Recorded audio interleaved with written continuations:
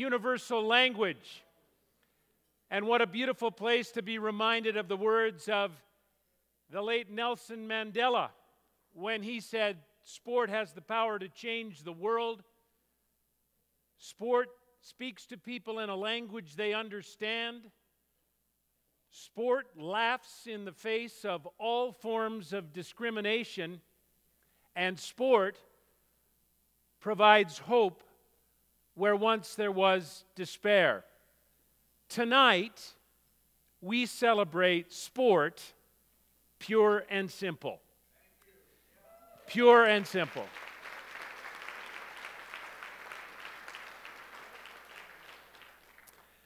Hello, everyone, and welcome to the 2019 Canadian Paralympic Hall of Fame Induction Gala. Bienvenue au gala de intronisation au Temple de la renommée paralympique canadien 2019.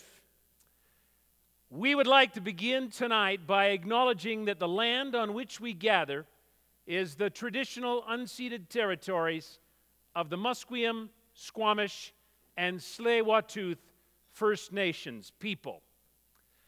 My name, as you might know, is Scott Russell, and I'm very proud to be.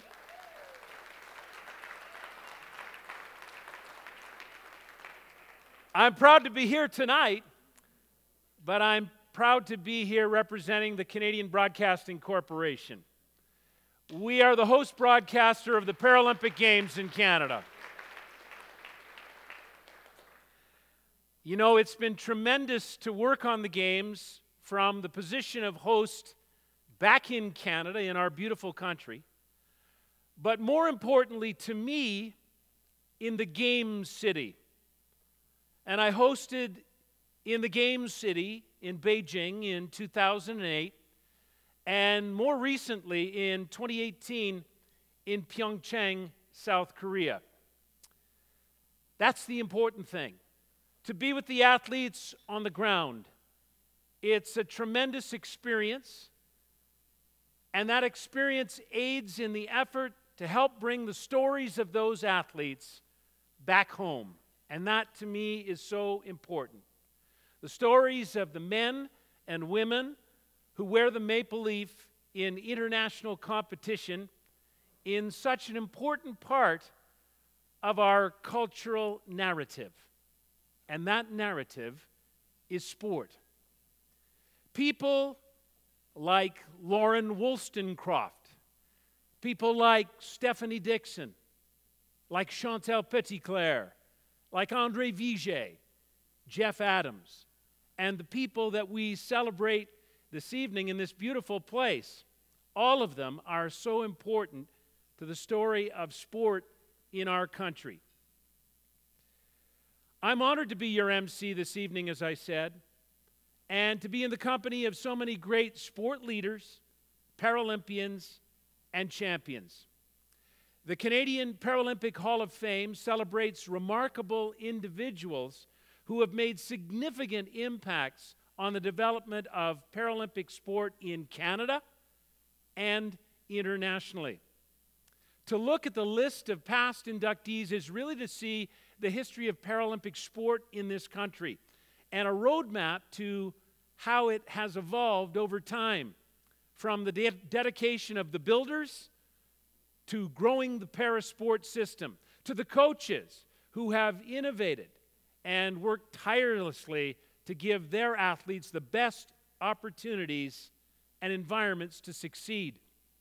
And to the athletes who put in the work each and every day to be the best that they can possibly be and who have brilliantly inspired and excited and represented Canadians with their wonderful, fantastic landmark performances.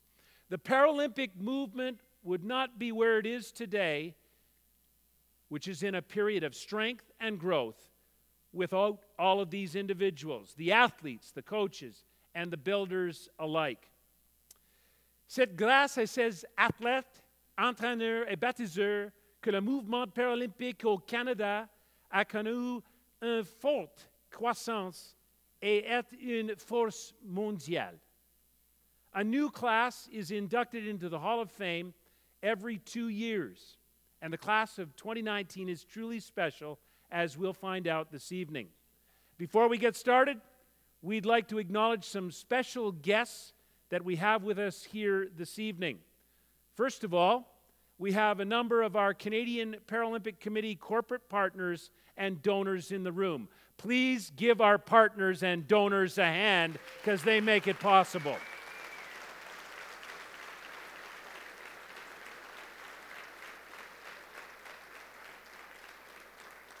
I can't tell you how grateful we are for your support of the Paralympic movement and of sport of this kind. And thank you for taking the time to join us here this evening. We also have a number of Paralympians and members of the Hall of Fame with us, and they deserve your recognition because they're national treasures. Our Paralympians and our Hall of Famers.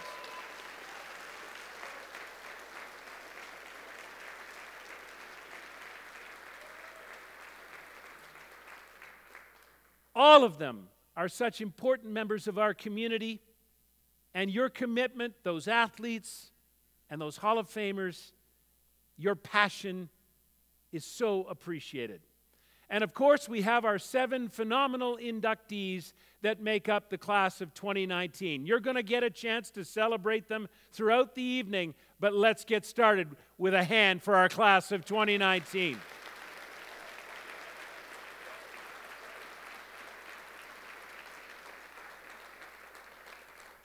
Thank you for being here to the class and for being such amazing ambassadors for Canada and for sport in general.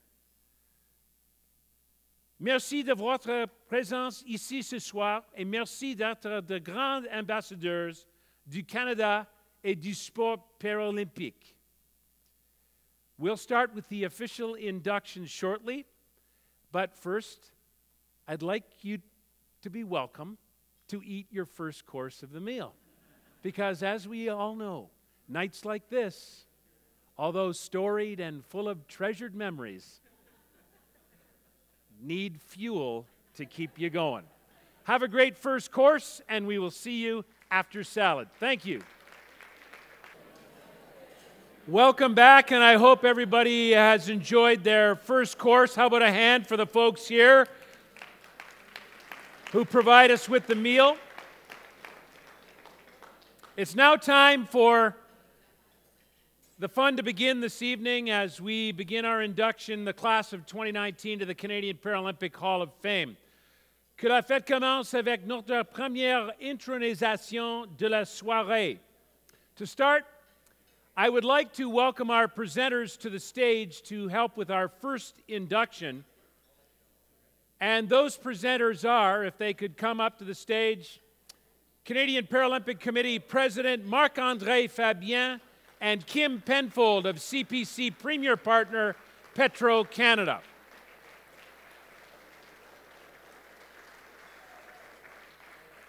And as they join me on stage, let's turn our attention to the screens to find out more about Coach Joe Rea.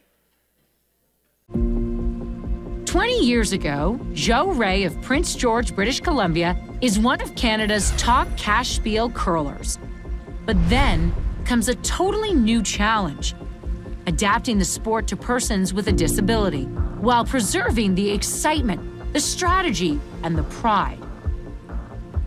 He's arguably, uh, you know, kind of one of the founding fathers, if you will, and there were only a few people that really you know, got involved in wheelchair curling at the early stages and then, you know, cha championed the cause at every opportunity. I would say his legacy is not only in success, but the growth of the sport and, uh, and being a pioneer in, in terms of how the game was played. Developing a new sport takes vision, commitment, and a lot of trial and error. Joe's task is to balance the laws of physics with the physical abilities of a competitor in a wheelchair, and his solutions are ingenious. Joe was very innovative. He developed a lot of the early techniques that we had to, to work on to allow uh, this group of athletes to enjoy success. He was always tinkering and always trying to find a way to make each athlete be the best they could be. In 2006 at Torino, Italy, Joe's vision turns to gold when he serves as head coach of Canada's championship rink.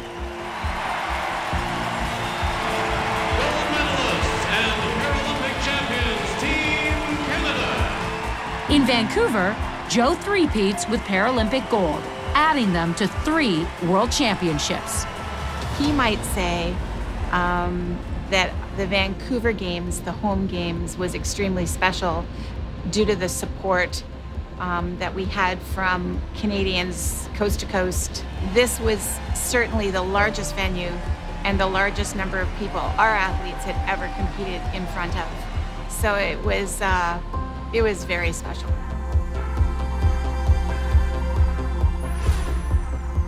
An extraordinary career as a coach, as an innovator, earning well deserved recognition as a pioneer and a pathfinder with the biggest heart in the house. He was invested in each of the athletes. He was invested in the program, and so it mattered to him. He wanted each and every one of them to be successful on the ice, so he was there to help them figure it out. He'll never be forgotten in the wheelchair curling community.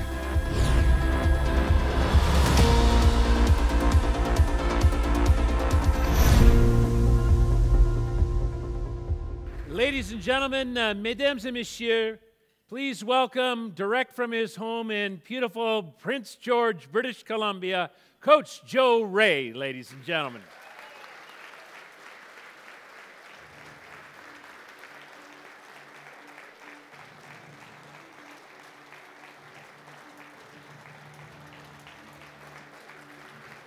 Hey, Joe. Congratulations.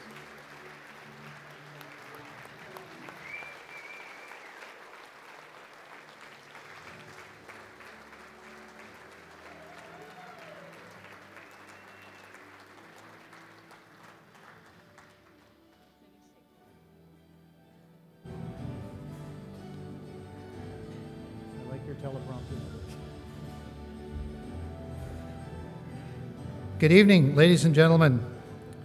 First of all, I'd like to thank uh, Marc Andre for this uh, wonderful evening and all the planning that they've done for this, and um, and just uh, you know highlighting uh, our sport, wheelchair curling, and uh, giving us an opportunity to uh, to showcase this and and and meet all you people. Um, we all know that, that none of us enjoy these accomplishments without a tremendous amount of support.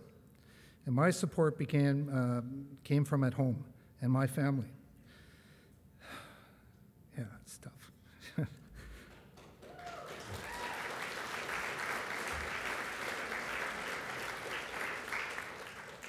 I have a very supported wife, and uh, she always held things together while I traveled with our team.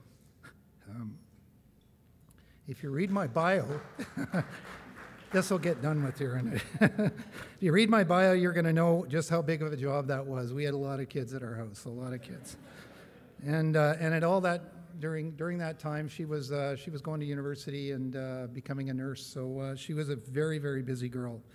We also had Grandma Sue to our kids, and uh, she used to show up uh, and rescue us on many occasions, and I sure thank her for that. Um, I had great uh, coaching opportunities, as you saw in the uh, video. Uh, uh Gerry Peckham, and as well Elaine Dagg-Jackson, that's here to uh, to help me celebrate tonight, and uh, they they gave me opportunities that that none of, no one else could, and I really really appreciate that. I was lucky enough to work with a wonderful coaching staff of Wendy Morgan and Laura Fairs, and you would have said, seen Wendy up there. She, she said some nice words tonight. And uh, Laura, who was our mental trainer, and, uh, and they should be standing here next to me because they, they deserve this as much as I do. Um, and let's be honest, uh, I didn't, uh, if I didn't have great athletes to work with, none of this would have happened. And uh, I have two of them here tonight helping me celebrate, Ina and Sonja, and they Sonja went to every Paralympic with me, and, uh, and Ina was right along there as well. So, multiple gold medal winners there. Being part of uh, Parasport has uh, not only been rewarding, but also uh, a learning experience for me. Wheelchair curling was a brand new sport to Canada and uh, when we attended the World Championships in 2005. It seemed that everybody knew more about the sport than we did. We had some catching up to do. And as a high performance uh, curling coach and player at that time, I, I thought I was pretty confident about how the game should be played. But it didn't take very long to know uh, that. Is that it? Three minutes, right? yeah. It didn't take very long to, uh, to realize this game needed to be played a little bit different as it was much more difficult than able bodied curling. Uh, there was no sweeping. And in the words of one of our friends uh, uh and fellow uh, wheelchair curlers, um, he was asked, uh, How is it not having any sweeping? And he replied, Sweeping admits imperfection. And that pretty much sums it up for this group that I worked with. I'll tell you, they're an awesome bunch of people. My players taught me more about the ability to overcome any adversity than they'll ever know.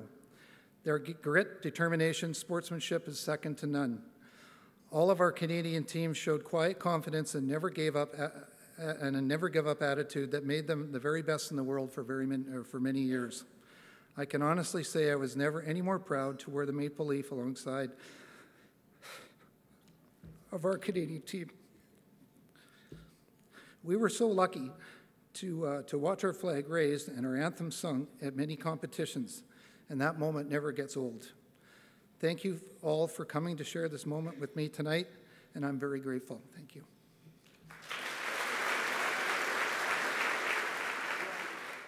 Great speech, Joe, and you even survived almost getting played off there. That was fantastic.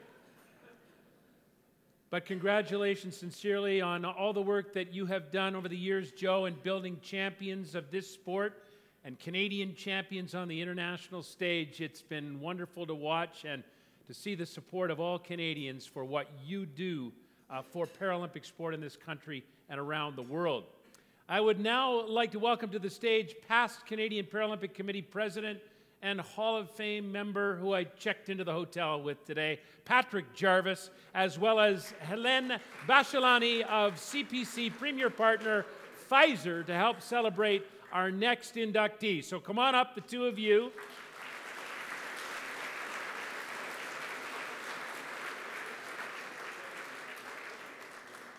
Our next inductee has dedicated her life's work to providing more people with disabilities the chance to try sport, to make sport a regular part of their lives, and to compete in sport at a high level.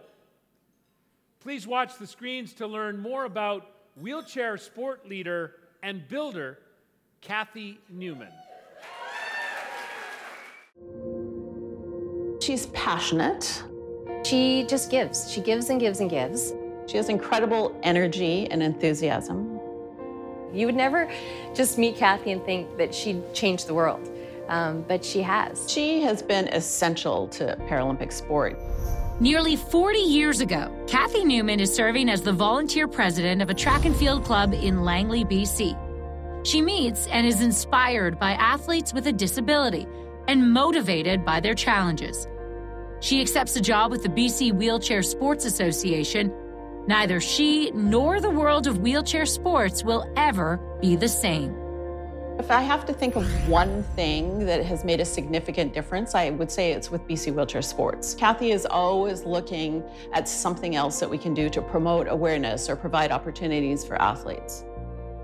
It's never about ego, it's never about accolade, it's always about how do we improve the system, how do we do the right thing for the athletes, um, for the people that are involved. Um, it's entirely selfless. Kathy immerses herself in a never ending cycle of funding appeals, event bids, strategic planning, and organizational meetings, building a firm Canadian foundation for a burgeoning global movement. In 2004, she helps to inaugurate the Canada Cup of Wheelchair Rugby. In 2010, she and her team bring the World Wheelchair Rugby Championships to Vancouver, drawing 14,000 fans to six days of intense competition. She thinks outside the box, so it's not that she sort of does everything day in and day out the same way. It's always, you know, how could we do this differently? How could we do this better? I admire the fact that after almost 40 years, She is still incredibly curious, incredibly dedicated and committed to the movement. She continues to seek out new challenges. She continues to learn. She is also instrumental in establishing Bridging the Gap, a program that has helped thousands of persons with a disability find motivation, inspiration, independence, and confidence through sport. The same inspiration, confidence, and courage that Kathy Newman discovered on a track in Langley nearly 40 years ago. I would like to say what an effective, strong, fantastic leader that she's been.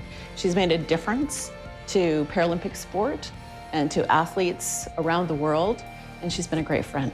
When she retired, we had a picture taken of all of the staff and all of the key people and all of the board members over the years that have had the honor to serve with Kathy. And it was a, an enormous group of people that had come to celebrate her.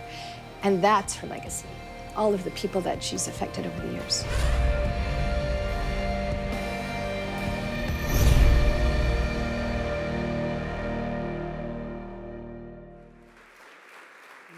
And gentlemen, mesdames et messieurs, she is a fantastic leader and she's got more pairs of glasses than anybody in the history of sport. Kathy Newman, right there. It's pretty funny to look at them over the years, for sure. I must admit, uh, I feel like I'm just going to pitch over here. I'm so excited and honored to be here to receive this award, and I feel quite overwhelmed. First, I want to congratulate my fellow inductees tonight. You folks are all amazing people. I was reflecting on what I would say tonight, and recently I was interviewed on the radio and was asked what I wanted to see happen in the future of the Paralympic movement. What came to mind was the need for us to continue to shine the light on parasport. While we have come a long way since we first began in the 1940s, yes, 1940s, we have much more to do. I feel fortunate to have been involved in developing innovative programs and events, allowing us to increase participation, build strong partnerships, and increase awareness. However, I continue to be impressed with so many creative programming ideas, like the Wheelchair Rugby Canada Club, program, Club Podium Program, supporting club development around the provinces. The BC Wheelchair Basketball WOW and Ontario Parasport Gear programs providing girls and women's only wheelchair basketball champions or basketball programming championships. I got events on the brain. In a supportive and encouraging environment. And the successful Canadian Paralympic Foundation Paratough Cup, raising funds to support growth and development of parasport across Canada. I'm also passionate about event hosting. Recognizing events provides a huge opportunity to, to achieve so many of our goals. As I often say, major events give us a reason to talk to people. People like sponsors, community partners, the local, provincial, and federal governments, and so many more. It also provides a platform to engage the public as spectators and promote awareness. I'm excited about Wheelchair Rugby Canada's bid to host the 2020 International Wheelchair Rugby Federation Paralympic Qualification Tournament and Wheelchair Basketball Canada's bid to host the 2022 World's Men's and Women's Wheelchair Basketball Championships. And I wish both organizations well as in their bids, as I know it will help them achieve so much more. It's initiatives like these innovative programs and event hosting strategies that will continue to allow us to shine that light on the parasport movement, encouraging increased participation, supporting growth and development across the country. All of this could not be achieved without the support of so many people. So, thank you to all the sponsors and government funders who get behind these events and programs. Thank you to all the volunteers who make it happen. Thank you to all the administrators who keep us all on track. Thank you to the spectators who attend the events. And a special thank you to the officials, coaches, sports science personnel, and other team staff who support the athletes. Our purpose is to support athletes in achieving their dreams, whether it's becoming physically active for the first time and trying something new they never thought possible, or participating in a local community sport program, or striving to be on the Provincial Canada Games team, or reaching for the stars and becoming a Paralympian.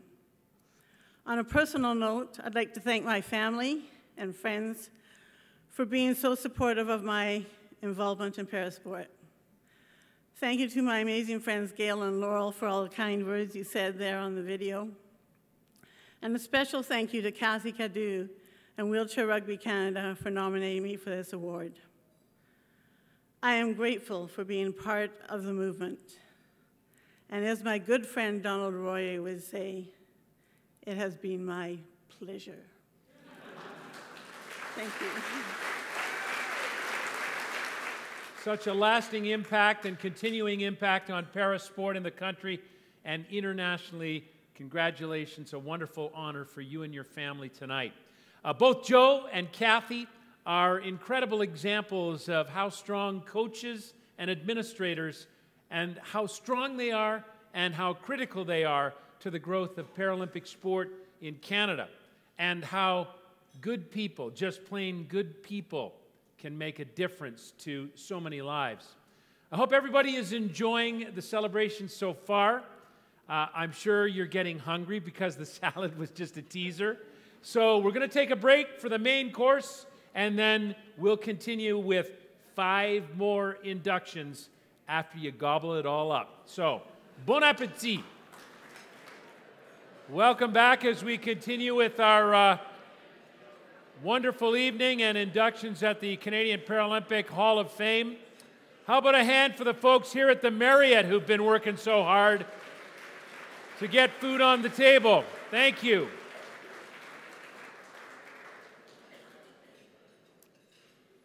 Tonight at our induction ceremony, as we celebrate the class of 2019, we have five remarkably accomplished athletes to celebrate. All of them have been tremendous role models both on and off the fields of play. To begin, I'd like to welcome our next presenters to the stage. Vice President of the Canadian Paralympic Committee, Gail Hamamoto, and Serge Corbet of Air Canada, an official partner of CPC. Please welcome Gail and Serge. Known for his speed and precision in competition and daredevil innovation out of competition, our next inductee, we all know, is one of a kind. Please turn your attention to the screens to hear more about Vernon, British Columbia's own Josh Dueck. A young man lies in a hospital bed, broken but unbeaten. He is 23, a fearless mogul skier born to bound down the most punishing slopes of a British Columbia winter. I think that the combination of his wife and sport probably saved his life. From the stories that he's told me, uh, lived life fully and, and was maybe not headed down the best path. And I think that Paralympics gave him a focus from that moment that he broke his back and that kept him between the lines to achieving some goals. I think Josh was destined to do big things no matter what had happened. And I really believe he'd say the same thing that this accident wasn't so much as a setback as a new platform to be who he is and continue to be authentic in different ways. It takes him five years to get back to world class competition. Five years of intensive focus, effort, and courage. In 2010, Josh wins a silver medal in the sitting slalom at the Vancouver Paralympic Games and gold in monocross at the X Games a year later.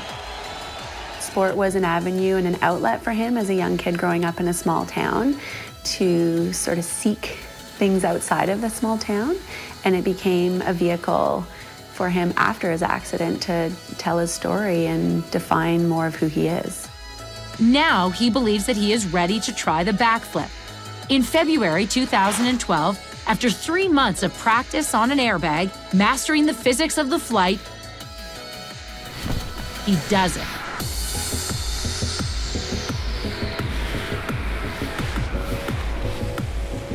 There's no way he was going to say no when that backflip opportunity came up. Nobody had ever done it before.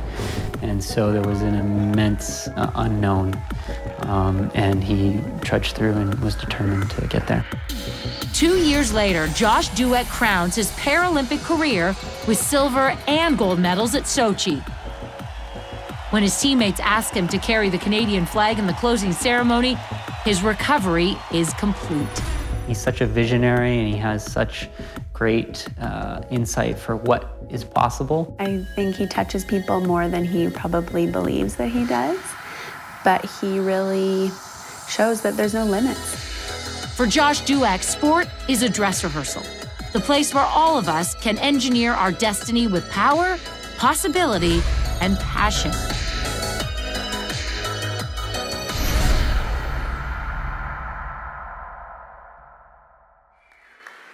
Ladies and gentlemen, he skis at Silver Star, but he's our Golden Star, Josh Dueck. Thanks, Scott. Uh, in, in classic fashion, I've prepared very little for today, so I can see they've given me a 10 minute counter uh, opposed to the three minute earlier, so let's see what I can do. um, I, I would say that I, I, come to the, the stage and I, I come to you today um, with a humble heart, but also with mixed emotion.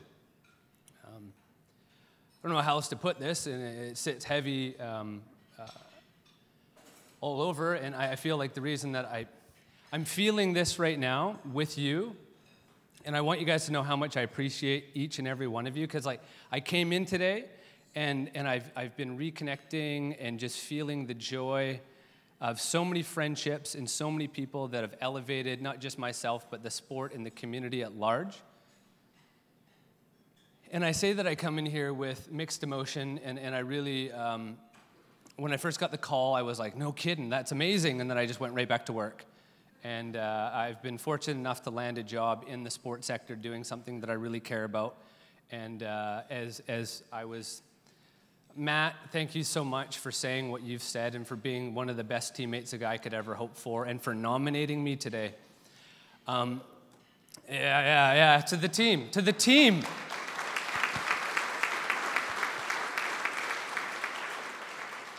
I've been fortunate to, to dive back into the sports sector and put that same enthusiasm and passion into leadership behind the scenes and helping to elevate the platform for other kids to be involved in sport. So I feel honored beyond measure to, to be in that role.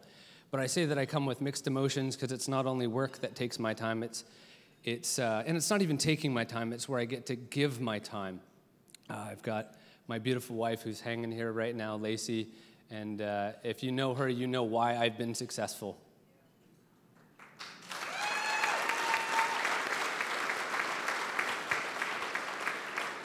We got two beautiful kids, and uh, Nova being six, Hudson being three, they definitely take a lot of energy. We're in the thick of it right now, and, and what a wonderful blessing to be able to have family and to grow together and to be able to share with them the experiences and values in sport. And I suppose the big, the big loom for me and the mixed emotion comes from um, we, we can't do this without a team, and we know that. Uh, it takes many, it takes a village to raise an athlete. Uh, and our most important network, the people that matter most to us, are often the closest. And, and sometimes you fail to realize how important the roles they've played in your life until they're no longer there. And I ask you to join me for just one moment. And I invite you, if you want, you can close your eyes and, and just find a moment of stillness to remember those that came before us and those that are no longer with us.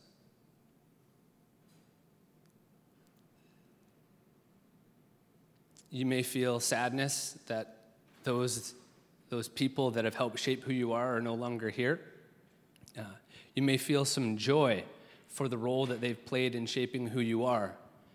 And, and for me and for my entire family, we, we were given an opportunity in very short notice and very short order to say goodbye to my dad, Peter, and my mom, Vicky, um, this past year. And uh, so my life has been upside down in more than one way. And uh, I, I, want to, to recognize my mom and dad for all the great things that they did to create a strong, willful, determined, rarely, but sometimes even kind uh, young man. Uh, I say rarely because my mom was the epitome of kindness. Um, and, uh, and I get to look to their strengths and their virtues and how they gave everything to raise their family. I look back and I kind of think, hey, five years has gone on since I was last in the gate, since I got to play, since I got to play games and uh, rally down the mountain doing what I love to do. And, and that's why I think a big component to the success that our whole team had was because we enjoyed it. And that joy came from excellent leadership like Brianne, who is the director of our program, and my coach, uh, JS, um, teammates like Matt, um, the community and the family that hold us to do it. And I reflect upon those times because life can be hard. Life can knock you down. You know that. It's happened to each and every one of us in this room. We get knocked down, and sometimes we feel it's unfair, and we don't understand really what's going on. And when I look back on my sport career, I am so thankful beyond any measure that it developed the tools and the skills and the experience to not only negotiate and manage this life that we live in that can be crazy and awesome, but it also gives us the skills to appreciate it and to thrive within it and to rise above it. And, and, and each and every one of you are very instrumental, either as athletes, players, builders, supporters, partners, Air Canada, thanks for putting me on every elevator and on side a few airplanes. Like, it was, it was kind of awkward for me showing up at the airport and like, you, I know you. I'm like, eh. Um, but what you did and what Air Canada did and our partners did is they elevated our sport. They created an awareness of the human spirit. And now more than ever, we need that reminder because times are tough. The world is changing. Of course, it does every day and it does every generation. It's nothing new. But I think um, the role that we play in the Paralympic community is uh, irreplaceable and needed now more than ever. And uh, I would love to, to go on and on and thank each and every person along the way. So I'll just say this thanks to each and every one of you that is here today, that's not here in person, and that's no longer with us at all. Um, it, it takes the collective to get to where we go. And I challenge you to this. Um, I heard some great wisdom at a fundraiser not that long ago. Uh, is that we are a product of the five people we spend the most time with. So I encourage you to audit that and ask yourself who are you spending time with and why? And do you elevate them and do they elevate you? Because life is short, you might as well rise.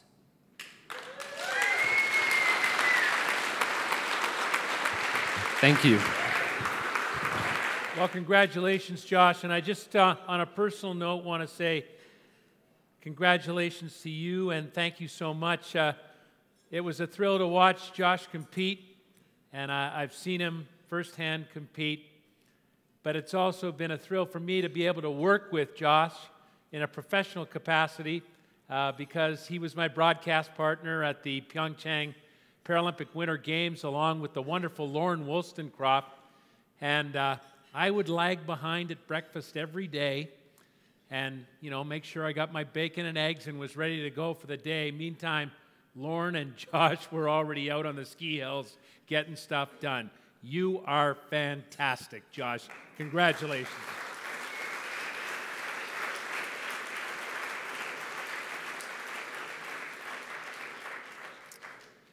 Our next presenters, and they're great ones, I would like to welcome to the stage past CPC President and member of the Hall of Fame, the Honorable Carla Qualtrough, as well as Loring Finney from CPC official partner Bell Canada. Come on up, Carla and Loring.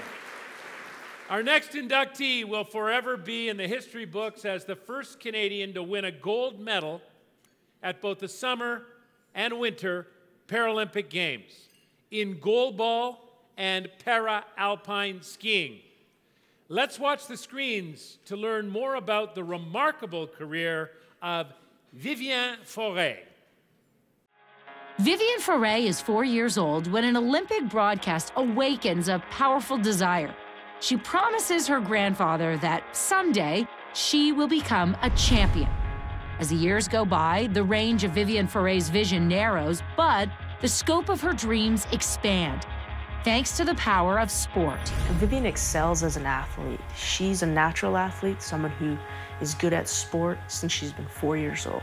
She can do things on the ground, on ice, in the water, and she could probably do really good things in the air too.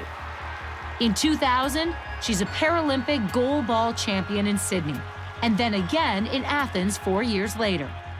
But a concussion forces Vivian off the national team.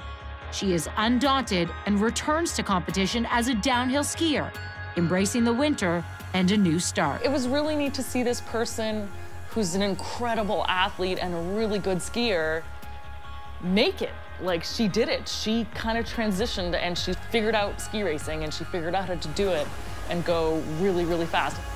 In 2009, she wins the first of five Crystal Globes on the World Cup circuit, skiing so skillfully and so fearlessly that few guides are fast enough to pace her. She's just all muscle and all intensity all the time. She really does exemplify what an, a high performance athlete is. She has a, a plan, a vision, a goal, and she does it.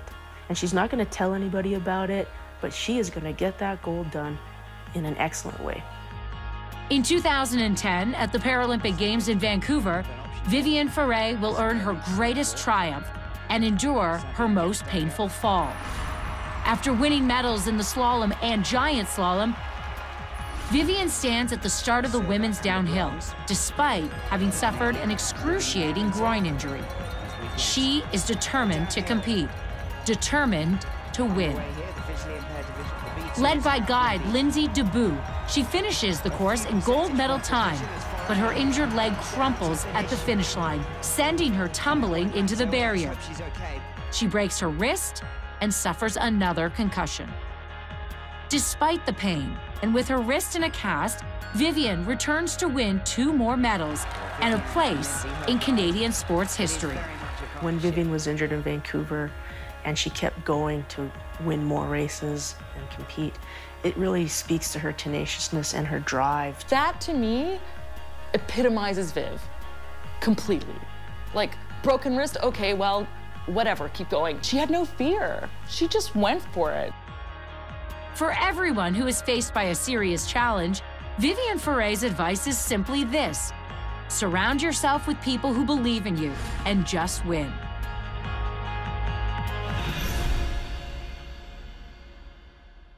Well, I have to say a big thank you. It's very humble for me to, to be here. As uh, Josh said, it's quite of a mixed feeling. Uh, sport have been all my life. It's my passion. Um, I cannot dream of a better career. I did see so many places in the world. I met amazing people, and I've been touched by a lot of people that did very good for me. Um, I hope that sport could bring so many pleasure and, and good feeling to a lot of young people. Um, it bring like sense of family, uh, engagement, responsibility, respect, uh, to play fair as well. And sport, it's kind of uh, important to be to be clean. So it's all the, the great value that Paralympic and the sport could bring to uh, someone. Um, yeah.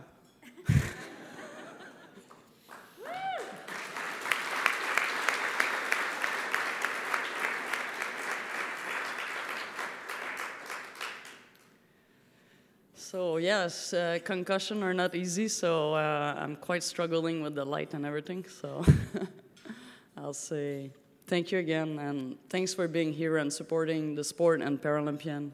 And from the bottom of my heart, thank you so much.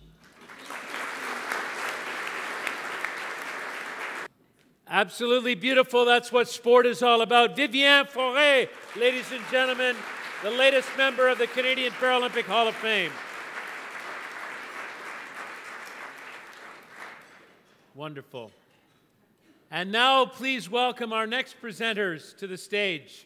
Past Vice President of the Paralympic Foundation of Canada, Ellen Waxman, as well as Vicky Gould from Canadian Tire, a premier partner of the Canadian Paralympic Committee. Please welcome Ellen and Vicky.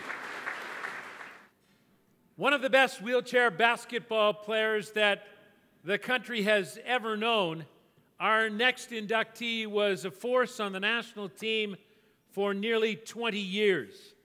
Let's turn to the screens now to find out more about Joey Johnson's remarkable career. For 17 years, at five Paralympic Games and four World Championships, Winnipeg's Joey Johnson wears the maple leaf with pride.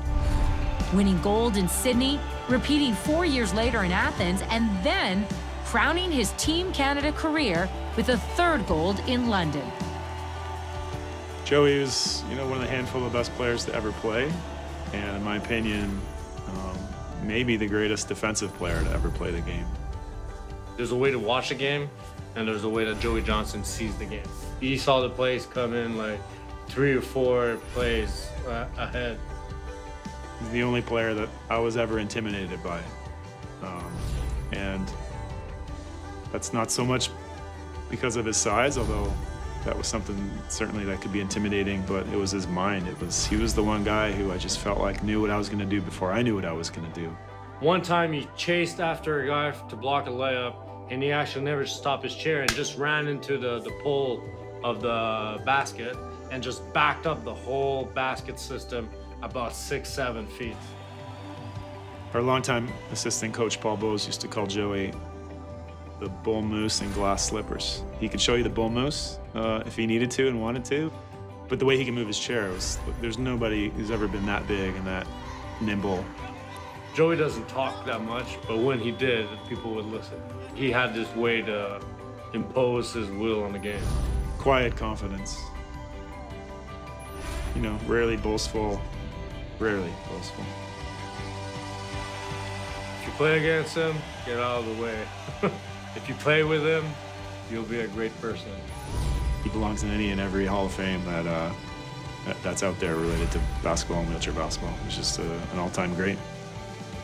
Today, he is giving back to the sport that opened his door to a world of acceptance, athleticism, and acclaim as an assistant coach for Team Canada in its global quest for gold, helping the next generation take on life's greatest challenges one on one.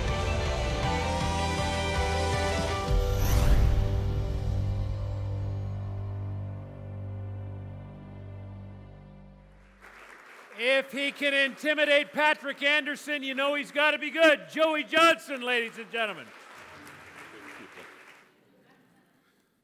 Uh, I'm going to keep this and short because I heard we're getting dessert after I'm done. So,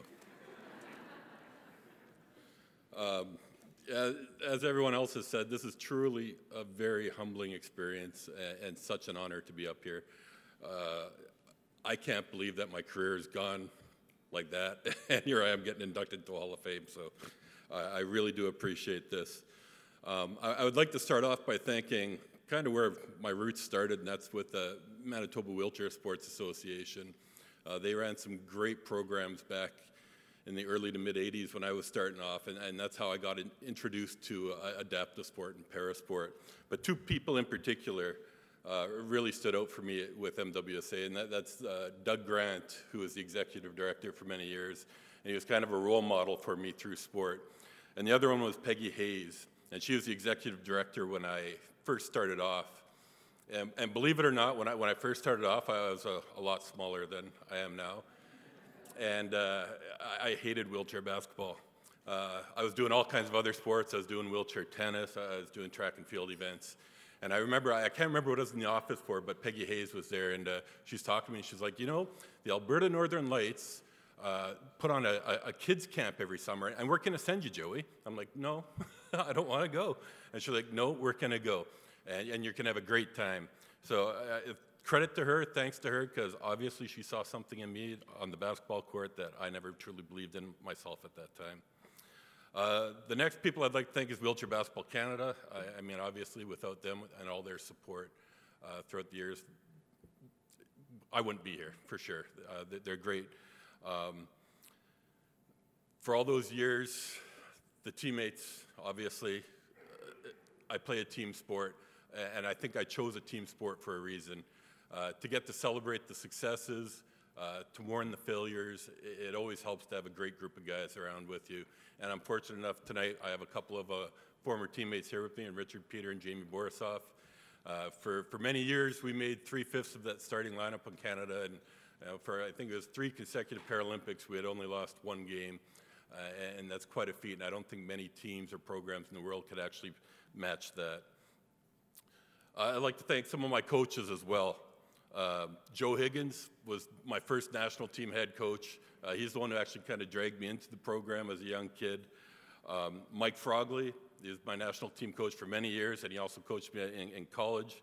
And then there's Paul Bowes and Jerry Tonello, who are also the head coaches with Canada for a while.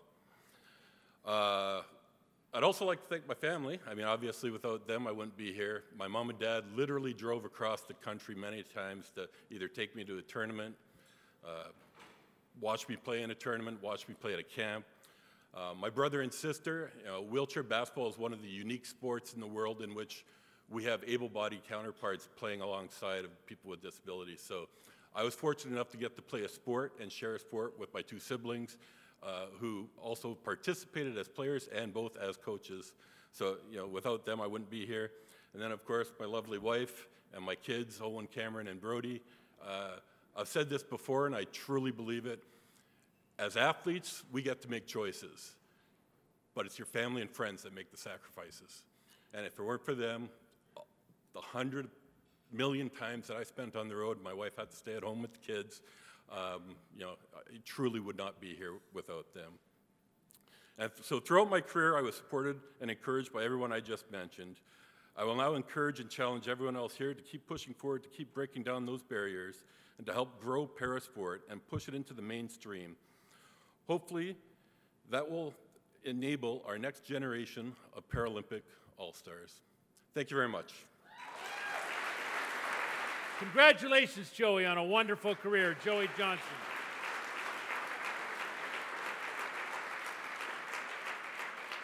This has been an incredibly special evening so far, and we're not done.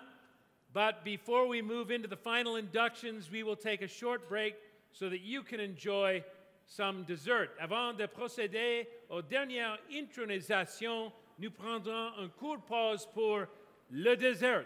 We'll be back in just a moment. Thank you. Thank you for your attention as we we culminate our evening and our celebration of the class of 2019 for the Canadian Paralympic Hall of Fame.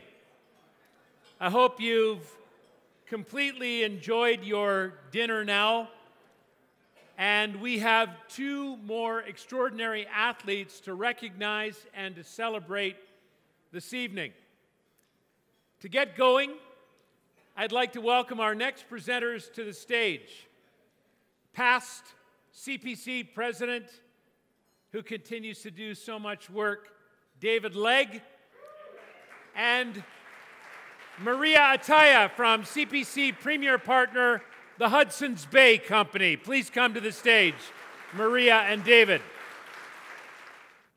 Our next inductee was a trailblazer in wheelchair rugby who helped redefine the sport throughout his two decades as a remarkable leader on the national team.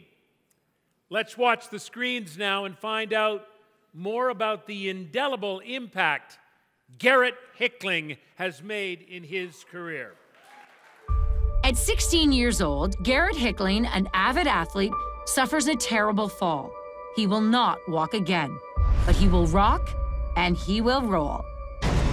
Driven by an unquenchable competitive fire, pioneer Duncan Campbell introduces Garett to wheelchair rugby, a game that will make him a world champion, a Paralympic medalist, and one of the most honored competitors in the sport's history.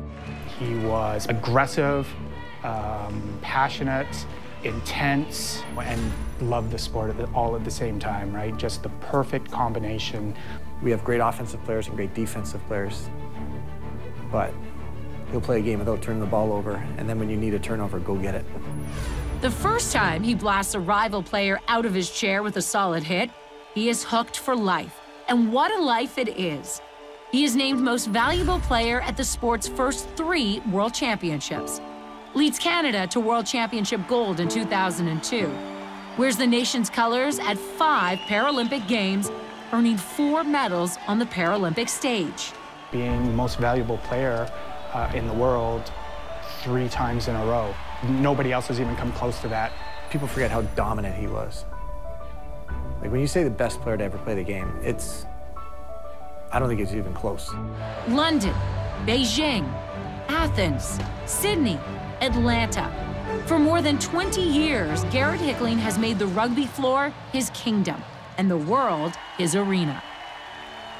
If you only knew Garett on the court and then you got to understand how much Garett cares for people off the court, uh, I don't know if people would find that surprising, but I think that's a really nice piece of Garett's character. Well, there's two Garetts on the court. Um, there's fierce, intimidating uh, guys that everybody else sees. And uh, um, there's Garett, the teammate, who's got everybody's back. If he's on your side, you're about five inches taller and about 20 pounds heavier. And if you're going against him, it's probably the opposite. Now he is sharing his experience and his expertise with a new generation of wheelchair rugby athletes, inspiring the next generation to dream big and hit hard. The easy way to say is he's the best player to ever play the game and leave it at that. But that's just, you know, 25% of what he is to wheelchair rugby. So uh, I'm glad you're getting other people talk about him because if you had him talk about himself, it'd be the shortest video ever.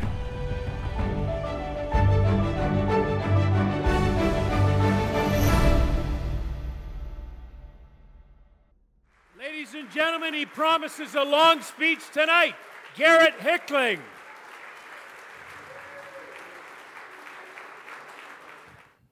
Wow, thank you. Um, it's tough to believe, like everyone says, you do something that you've loved for so many years, and to be recognized like this is just amazing. Um, so many people I'd like to thank, but I do have to try to keep it short, but I will keep it small and simple. Uh, first person, Kathy Newman, um, fellow Hall, Hall of Famer.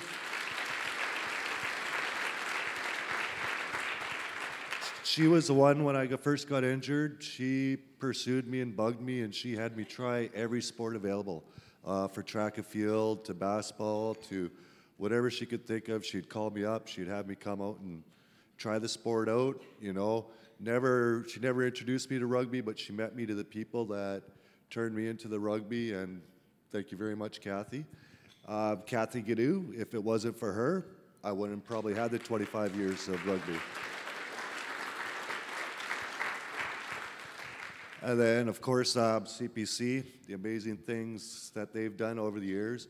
To me, just makes my tattoo feel that much more important. Um, thank you very much. Fellow teammates, I've met many great guys, have many great friends over the years, and uh, they're almost like a second family to me. Just thank you very much. And of course, friends and family, you know, without them and their moral support, it would just help me pull through everything. And um, Thank you very much, Dad. Love you. Love you, Mom. Take care. Thank you all very much. Garett Hickling, ladies and gentlemen. Congratulations, Garett. Wonderful, wonderful career. And what a legacy that you have at Wheelchair Rugby Canada. Now we're down to our final honoree of the evening. And uh, this is uh, very special. Please welcome our presenters, President of the Paralympic Foundation of Canada, who uh, I've had a long association with and so proud to know him, and he does so much great work. Please welcome Jim Westlake to the stage, ladies and gentlemen.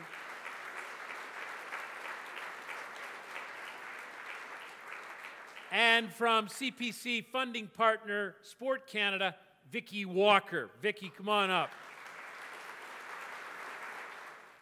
She is one of the most prolific Canadian Paralympians on the field of play and greatest advocates off the field of play.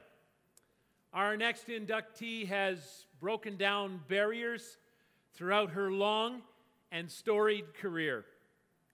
Please turn your attention to the screens to find out more about the wonderful career of the pride of Saskatchewan, Colette Bourgonje. Well, every once in a while, you get a second chance. I'm very grateful to small town Porcupine Plain, Saskatchewan, for a second chance to dream big. Colette Bourgonje's motto is simple but eloquent sport changes life. Colette is a competitive cross country runner out of Porcupine Plain, Saskatchewan. She has dreams of becoming a phys ed teacher, but an automobile accident leaves her with a broken back at the age of 18. The crash ends Colette's running career, but it also offers a path toward a new beginning. She was really good in, in track and field and uh, volleyball, basketball. She was, doesn't matter what she played, she was the best at it.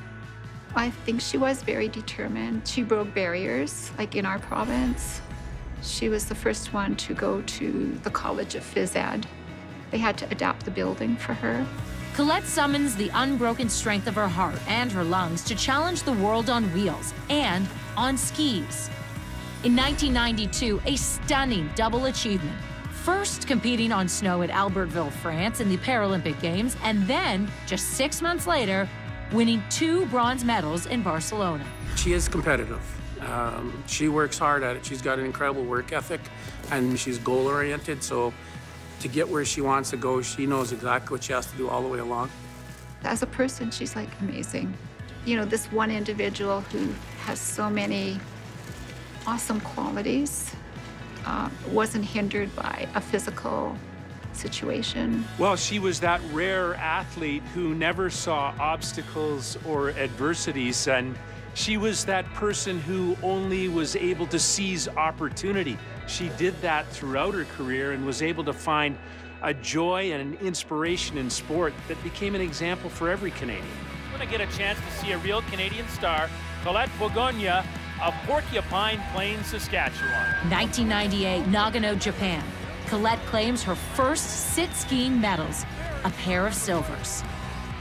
To become the first Canadian to win medals at the Winter and the Summer Paralympics, tremendously important. No Canadian had ever done that. And she had such a long career which spanned a generation. Big day for Colette Bourgonje of For a quarter century, she dominates both disciplines, competing in 10 Paralympic Games, winning 10 medals, defying time, making history as a racer, as a skier, as a coach, and as an inspiration. Proof of the power of sport to change us all for the better through all the summers and winters of our lives. She's true to herself and encourages people to be the same. Her influence went well beyond the field of play. She enlightened so many young Canadians about the joy of physical activity and what sport really can mean to a person's life. She's kind, she's considerate, um, she's, uh, well, she's Colette. She's like, she's one of a kind.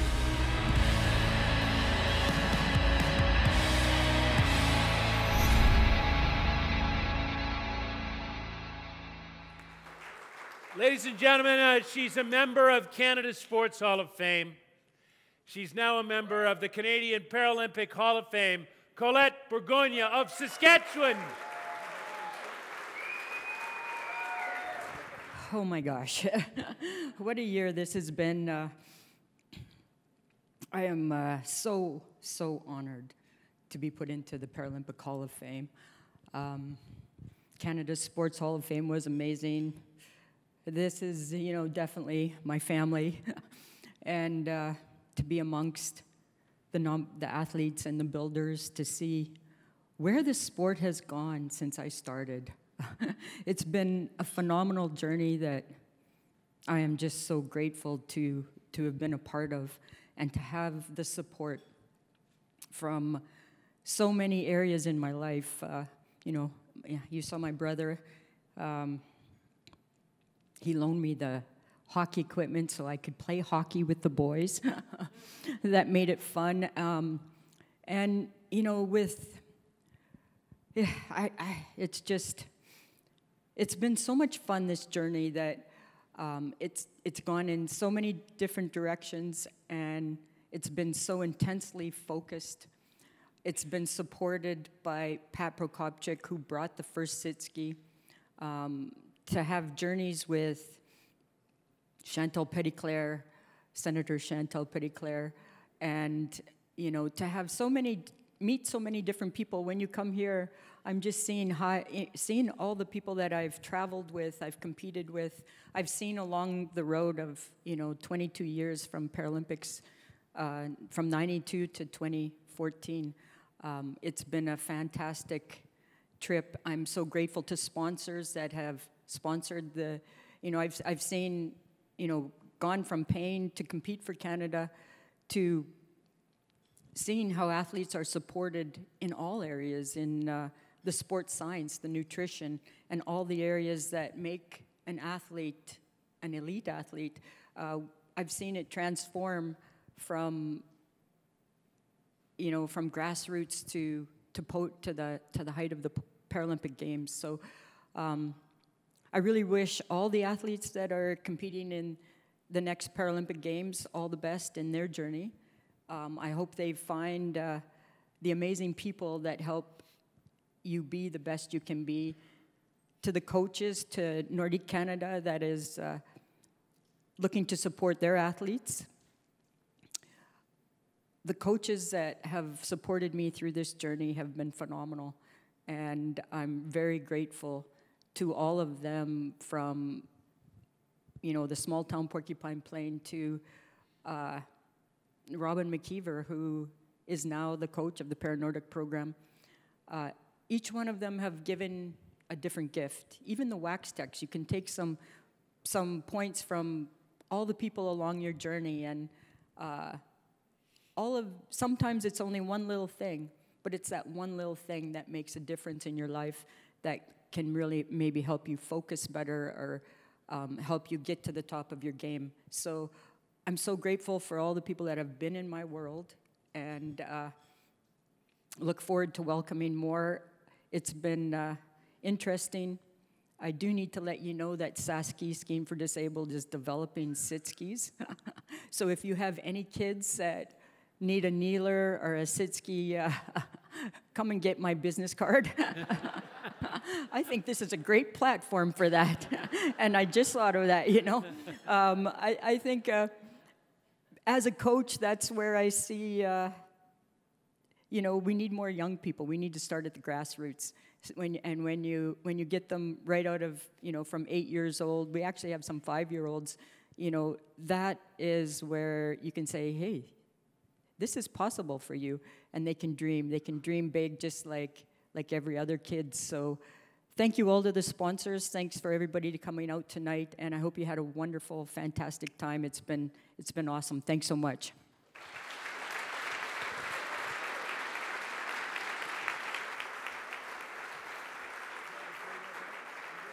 We had a great time at a dinner last night uh, to help raise funds for Canadian athletes in Saskatoon and you were at home and you should have seen the reception she got there, matched only by the reception that she got here. One more time, Colette Bourgonje, your latest member of the Hall of Fame.